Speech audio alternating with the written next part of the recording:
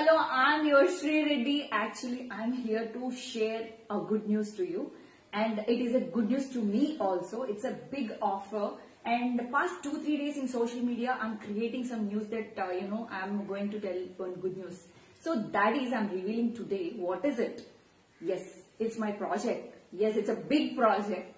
And also I'm doing a very beautiful biopic of a legendary actress. She is none other than glamorous actor and so hot.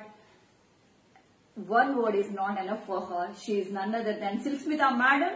And uh, Silk Smitha Madam biopic, Sir uh, Madhugaru, he is directing the film and this film is going to release in uh, you know, bilingual. Basically, we are going to do in Telugu, Tamil and all. And uh, yeah, I will give the details in next video. Please bless me and you people are so sweet. All the time you people are supporting me.